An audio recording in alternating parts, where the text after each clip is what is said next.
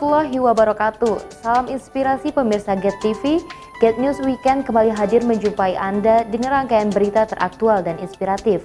Bersama saya Sylvia Rizky, inilah Get News selengkapnya.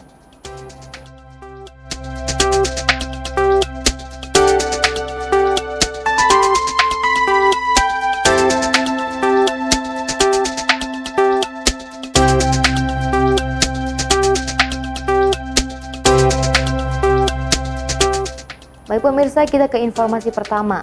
Panglima TNI Marsikal TNI Hadi Cahyanto dan Kapolri Jenderal Polisi Tito Karnavian melaksanakan safari Ramadan ke Pulau Lombok, Nusa Tenggara Barat. Dalam pengarahannya, Hadi Cahyanto menyampaikan permohonan maaf atas keterlambatannya menghadiri safari Ramadan karena dinamika di lapangan. Assalamualaikum warahmatullahi wabarakatuh. Marhaban ya Ramadan. Apa kabar Anda pemirsa Get TV?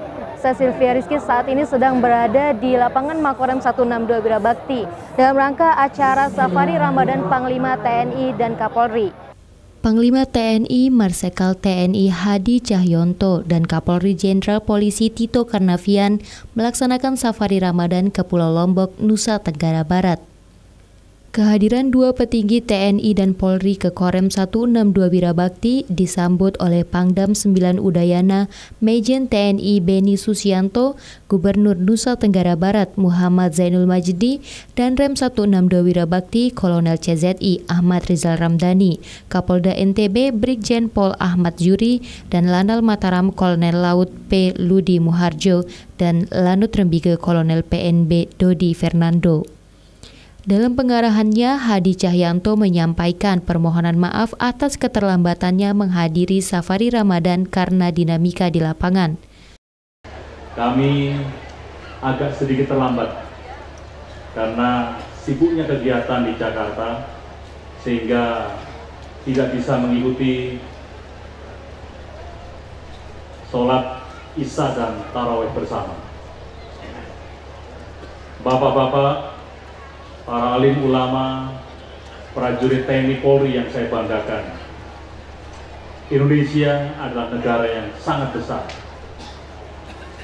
Panjang pantainya saja nomor dua di dunia setelah Kanada. Indonesia terkenal dengan negara yang beragam budaya dan sukunya Dilanjutkannya, Indonesia yang penuh dengan keramah tamahan tercoreng oleh adanya serangkaian teror mulai dari Makobrimob Kelapa II Jakarta dan beberapa tempat lainnya. Namun, dalam waktu yang singkat, Polri dapat mengungkap pelaku teror bom tersebut. Di bawah Kapolri Jenderal Polisi Tito Karnavian, Hadi melihat persoalan terorisme dengan cepat bisa teratasi. Bahkan dalam hitungan jam, pelaku dan jaringannya dapat terungkap. Hadi menegaskan sebagai bangsa yang besar tidak boleh terpecah belah oleh apa pun dan siapa pun. TNI siap mendukung kebijakan dan langkah Polri dalam menjaga keamanan dan ketertiban masyarakat. Sementara Tito Karnavian menyampaikan kesannya setiba di Pulau Lombok. Bali juga overcrowded, sudah terlalu penuh. Berikutnya primadonanya adalah Lombok. Ya.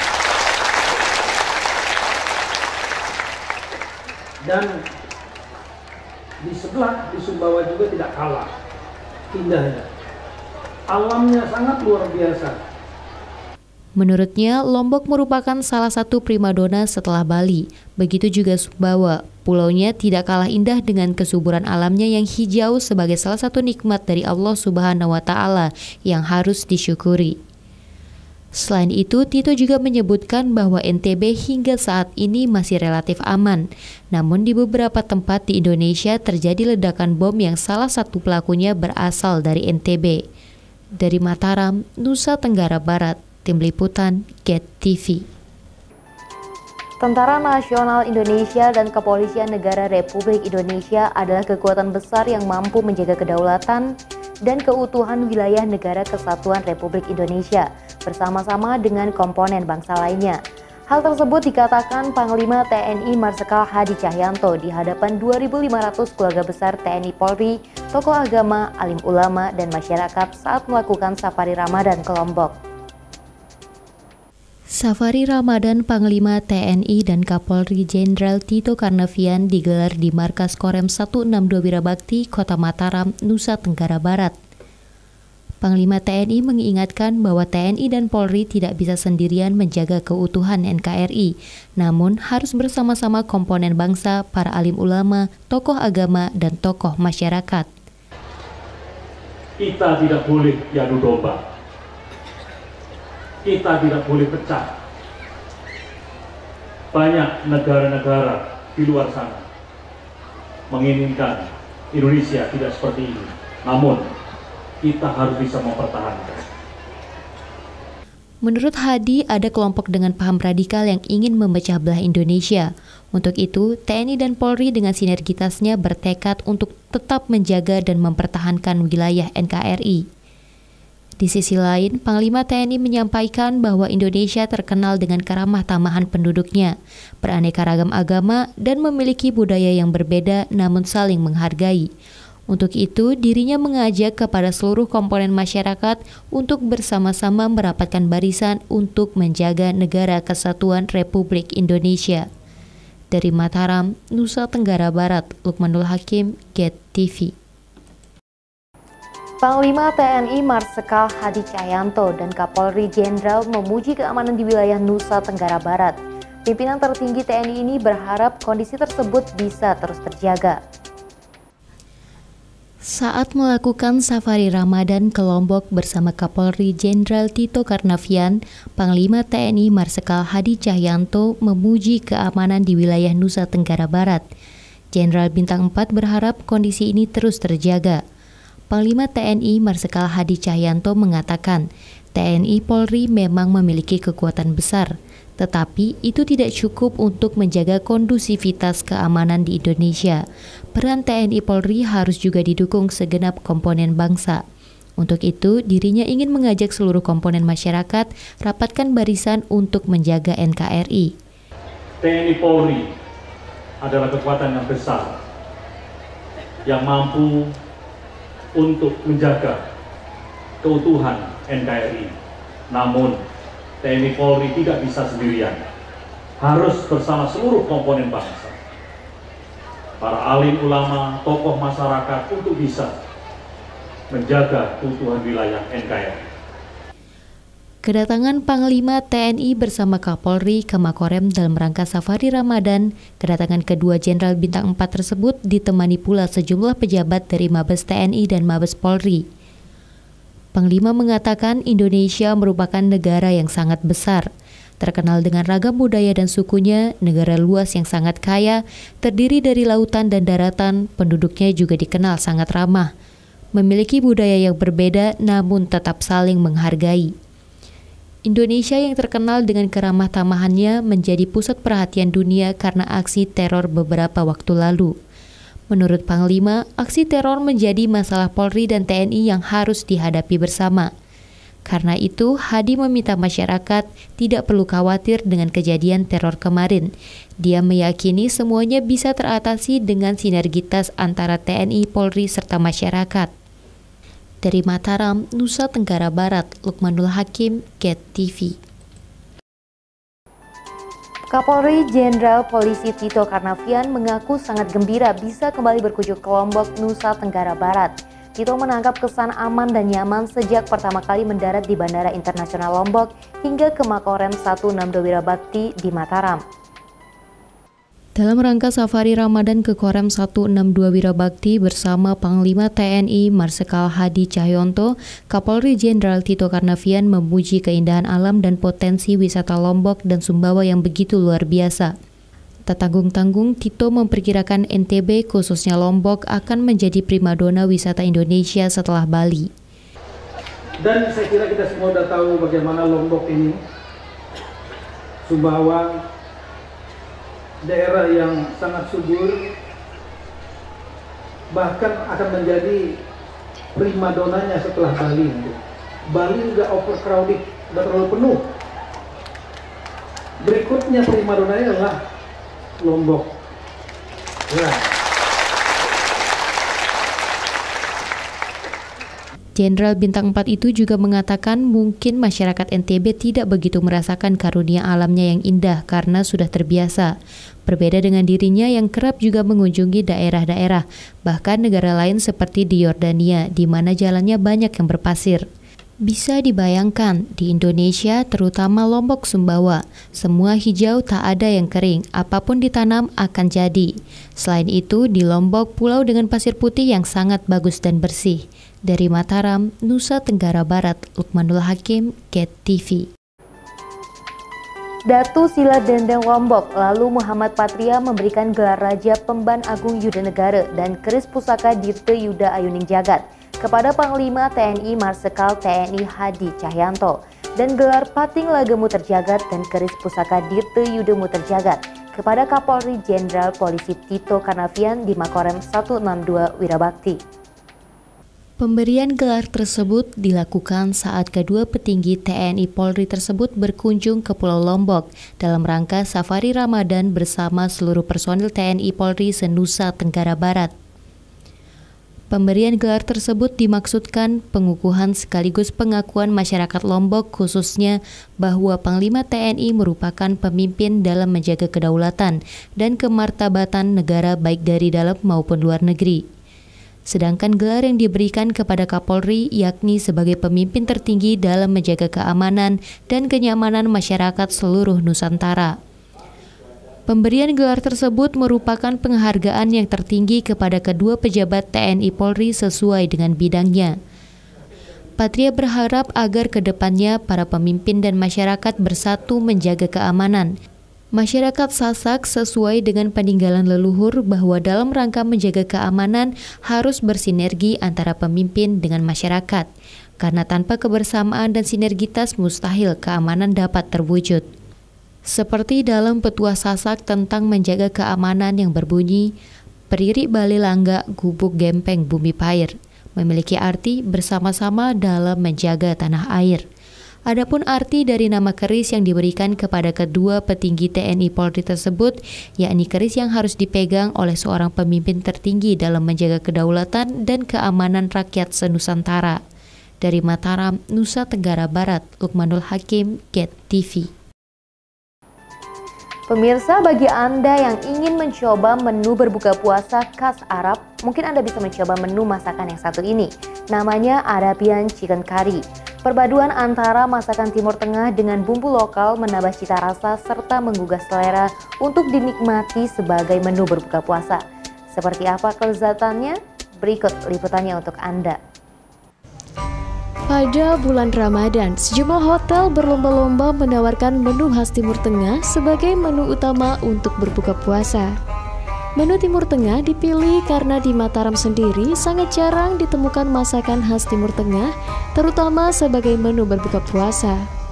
Salah satu masakan khas Timur Tengah yang patut dicoba sebagai menu berbuka puasa yakni Arabian Chicken Curry. Arabian Chicken Curry merupakan makanan khas Timur Tengah yang terbuat dari beberapa bahan seperti kari babas, cabai merah, tomat, kapulaga, ayam pejantan muda, dan beberapa rempah-rempah lainnya. Untuk memasak Arabian chicken curry, terlebih dahulu panaskan minyak, masukkan bawang merah yang sudah ditumis, pala, kemudian diaduk hingga merata. Selanjutnya, masukkan kapulaga, kari, gula, micin, dan irisan tomat serta potongan ayam pejantan. Setelah itu diaduk lagi hingga bumbu meresap ke dalam masakan. Lalu ditambahkan sedikit gula dan terakhir santan kental. Setelah itu, masakan didiamkan selama 20 menit agar bumbu-bumbunya meresap sempurna. Setelah menunggu selama 20 menit, Arabian chicken curry kemudian diplating dan siap untuk dihidangkan sebagai menu berbuka puasa tema Ramadan untuk Ramadan tahun ini sih saya mengangkatnya ke yang masakan Arabian aja. Arabian. Arabian. Alasannya Arabian apa itu Sen? Ya karena kan untuk memperkenalkan karena di sini juga banyak agak sulit nyari masakan Arabian ya di Lombok ini. Halal traveler, halal destination, which is uh, Pak TGP juga menyarankan itu.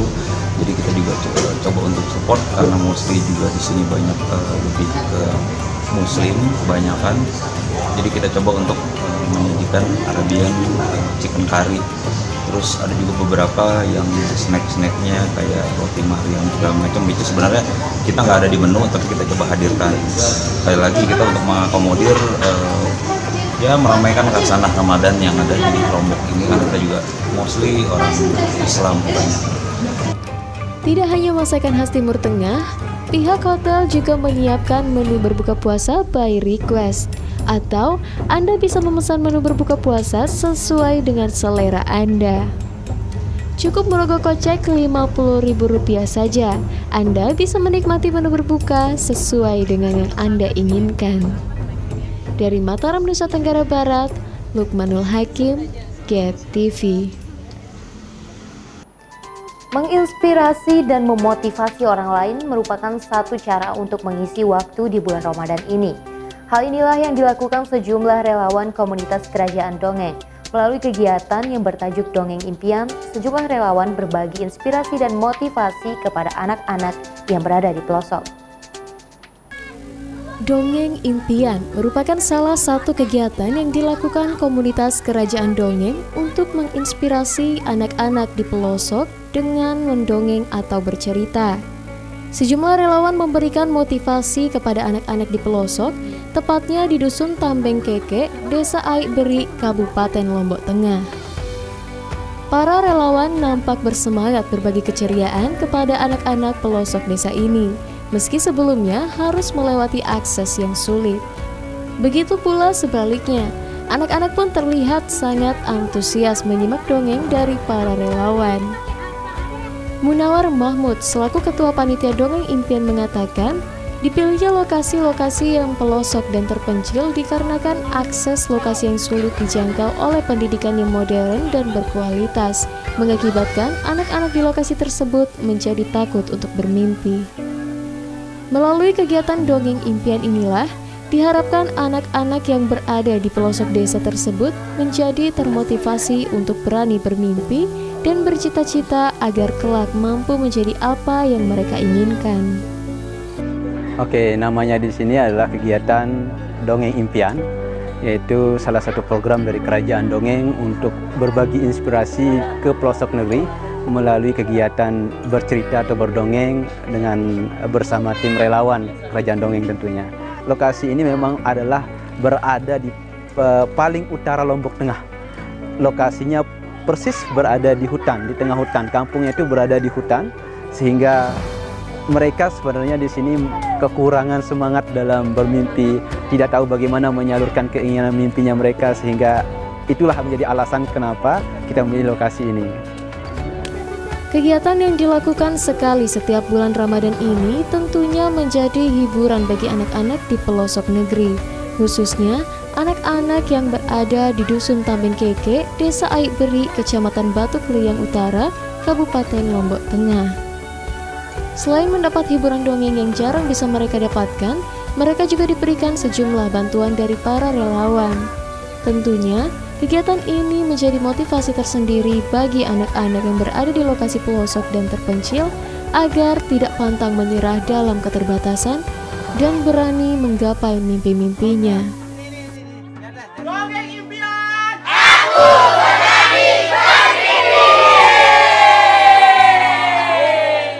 Dari Lombok Tengah, Nusa Tenggara Barat, Sidik Al-Ansori, Get TV.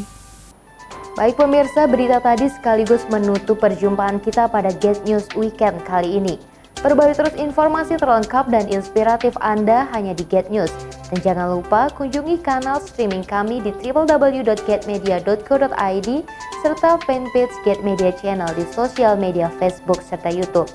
Saya Sylvia Rizky mewakili seluruh kru yang bertugas pada hari ini mengucapkan selamat menunaikan ibadah puasa 1439 Hijriah. Mohon maaf lahir dan batin. Wassalamualaikum warahmatullahi wabarakatuh. Get inspiration.